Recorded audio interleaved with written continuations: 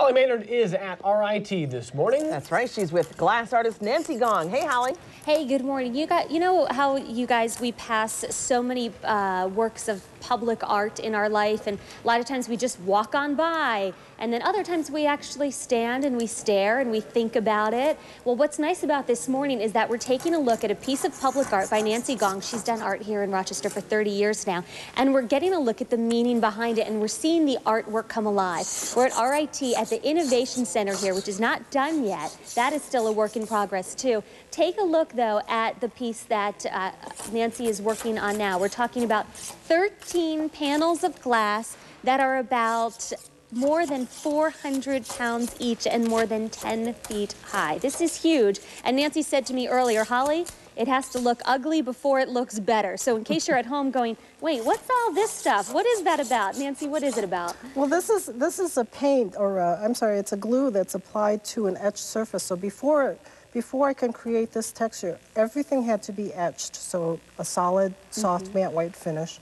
This hot molten glue gets painted onto the design area, and it dries. It'll look like this, and when it starts to dry, it'll break, it'll start to curl up and mm -hmm. separate from the glass, leaving this hand-chipped texture behind. So when they came to you with the initial idea for this project, that you were going to have 13 different panels of glass and how did you even come up with the concept that you were going to try to relate it to science and technology? Well, they were originally thinking about a wave. Mm -hmm. And I asked them if the wave meant anything, and they said no. And I said, well, it would be nice if the wave meant something. So then I saw a program on PBS, and it was about the Bose-Einstein condensate theory. Uh -huh. And someone told me that that is what the super collider in England is trying to prove.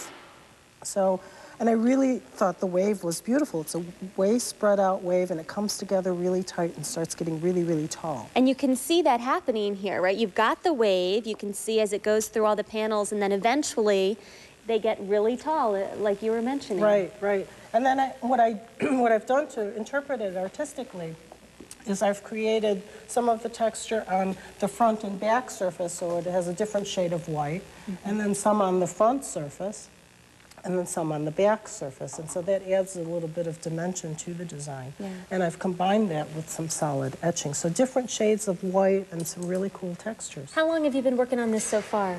I've been working on it since January. Mm -hmm. And I've been on site for three, four weeks. And when do you think you'll be done? Um, another week, week and a half. Yeah. Well, coming up uh, in the next half hour, Norma and Evan, we're going to talk about how you actually put this into place. I mean, think about it. These huge panels of glass and having to fit them perfectly here in this space.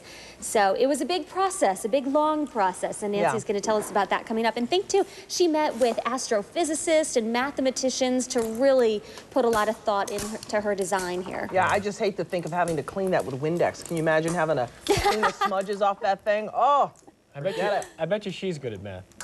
I think so. Nancy is. She's an artist and a mathematician.